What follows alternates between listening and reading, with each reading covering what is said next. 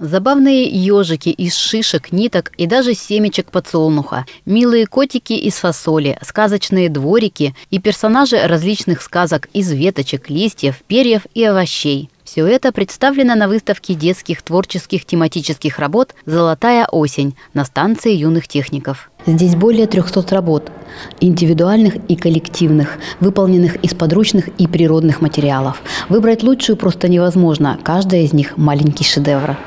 В городском конкурсе поделок из природного материала приняли участие ученики с первого по пятый классы и их родители. Есть на выставке и работы шестиклассников. Море фантазии и буйство красок. Все поделки выполнены качественно и с душой. Я принимала участие в выставке «Золотая осень». Моя работа называется «Дары осени». А какие работы тебе больше всего вот понравились здесь на выставке? Что, что ты оценила сама для себя? Ну, много было работ с паутинками, где был паук и паутинки. Такие работы больше всего мне понравились.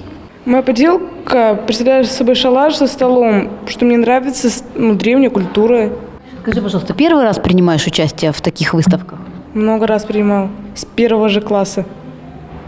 То есть тоже любитель делать что-то своими руками? Да, мне нравится очень сильно. Что-то фантазия моя бурная. Но первую поделку я сделала из э, орехов, из желудей, из палочек там и, и листиков так сделал.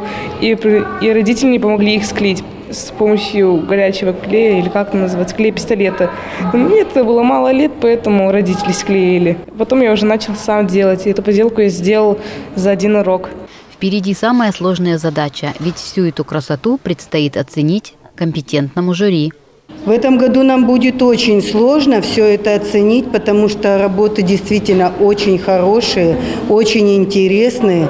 Но мы постараемся никого не обидеть, поэтому побольше выявим победителей, будет очень много призеров, и все получат грамоты, в том числе и участники нашего конкурса.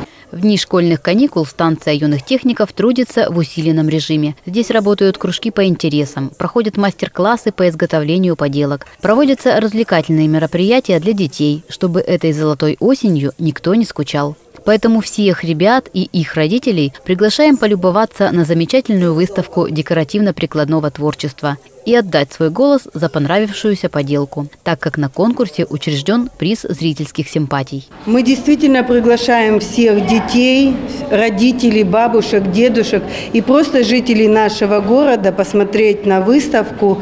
А, во время каникул она работает с 10 до 17 часов на станции юных техников Кирова 21. Приглашаем всех, потому что действительно есть на что посмотреть и, что немаловажно, вход свободный. Луиза Сысоева, Иван Петров, Светлана Нурик. Городские новости.